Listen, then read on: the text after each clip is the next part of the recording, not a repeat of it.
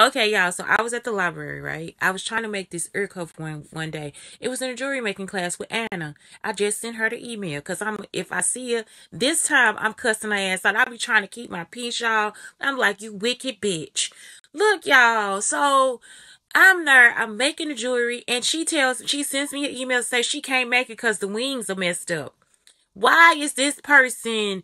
Why does the person now? It's the second shop I have seen with my earring designs.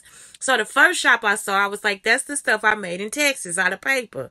And it's down here Craft Alliance. Now this next shop that I'm about to show y'all bitches of, they actually have the piece that I was trying to make. The only th- difference is it would have been 3D printed.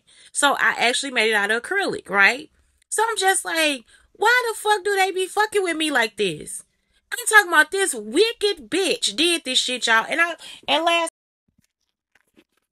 so look, last night I'm looking at my designs, y'all. I know this just like a just a preliminary whatever, but that's how I was designed. I was designing it for me and Blake.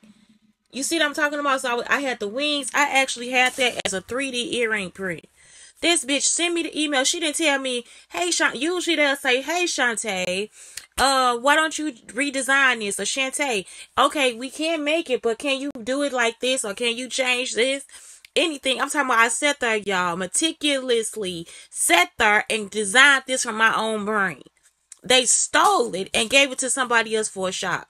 They are supposed to give me a team to help me make my own creations. Not still. It's like, why do y'all keep thinking you can make money off my ideas? You you set up a shop for me?